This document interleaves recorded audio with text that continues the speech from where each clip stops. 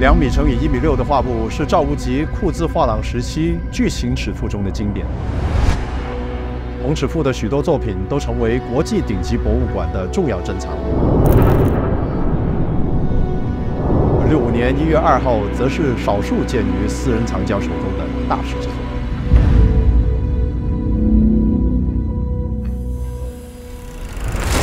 赵无极一向被认为是旅法华人大师，但其实，在一九五零到一九六零年代，赵无极有着长达十多年的时间活跃于美国艺坛，对于他的事业和艺术都产生着巨大的影响。一九五七年。旅居美国的赵无极认识了库兹画廊创办人山姆·库兹。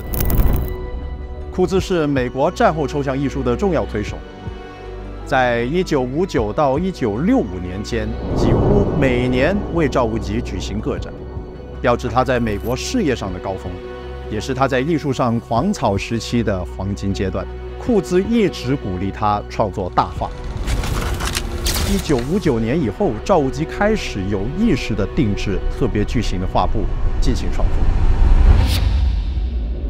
就像六五年一月二号这样尺幅达到一百六十二乘以两百公分的特殊的巨大尺幅，正是库兹画廊时期他创作的最具代表性的巨型作品。通过赵无极全集，我们会发现这种一百六十二乘以两百公分尺幅的作品。赵无极在库兹画廊时期，平均每年只创作两幅，大部分都参与了当时艺术家的美术馆级展览，包括六五年一月二号，也参加了赵无极一九六六年在法国卡昂文化中心的展览。这些巨作如今许多都进入了全球重要的博物馆及机构收藏，像六五年一月二号这种尺幅的巨作，在私人手上反而难得一见。赵无极曾经说过：“大幅的画布使他必须于空间不动，不但要填满它，还要给它生命，把自己完全无住其中。”六五年一月二号，显然受到了美式抽象表现主义那种大开大合、那种霄汉张扬、那种无所顾忌所启发。我们发现，此时赵无极的作品在空间布局。和笔触运用上面，都呼应了像罗斯科的几何式布局，以及波洛克式的自动性书写。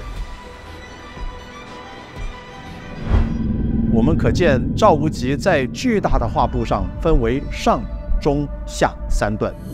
并且以中段为核心，构建出一个巨大的恢宏的运动性空间。通过六五年一月二号，中国的水墨狂草。和道家思想中大象无形的宇宙哲学，